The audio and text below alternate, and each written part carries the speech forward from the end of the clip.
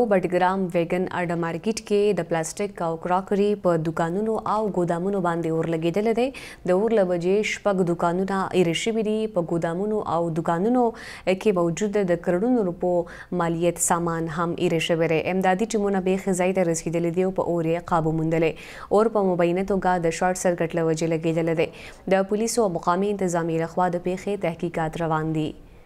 خبر درکوو بټګرام ویګن اډا مارکیټ کې د پلاستیک او کراکري په دوکانونو او ګودامونو اور لګیدلی د اور له وجې شپږ دوکانونه ایره شوي دي په ګودامونو او دوکانونو کې موجود د کروړونو روپو مالیت سامان ایره شوی دی